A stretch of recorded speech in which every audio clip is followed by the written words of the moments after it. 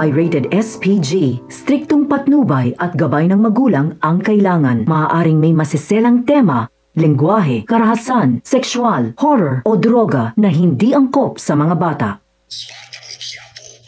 Naririto ang mga kaabang-abang na mga kaganapan ngayong gabi sa FPJ Batang Quiapo.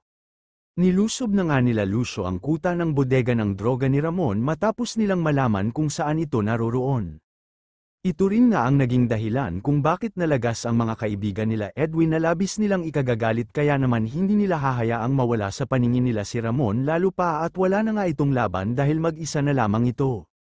Samantala, habang si Ramon nga ay kasalukuyang nakikipagbakbakan sa mga kalaban ay si David naman ay bising-busy sa pag-aayos ng susuotin niya sa araw ng kasal nila ni Catherine.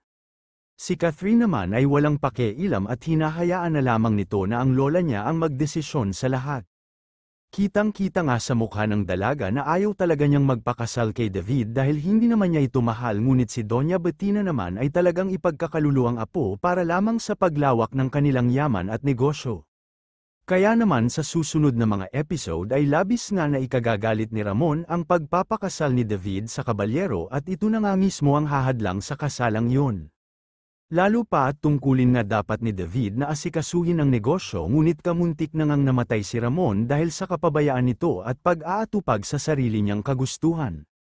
Dito rin nga ay iisipin ni Ramon na maaaring grupo ni Don Facundo ang may balak na patayin siya dahil sa alitan nilang dalawa kung kaya ganoon na lamang ang magiging galit ni Ramon sa mga ito. Ano nga bang gagawin ni David sa oras na ihinto ang kasal nila ni Catherine at mainto ang pagpapantasya niya na makuha ang yaman ng mga kabalyero? Abangan sa susunod na mga episode.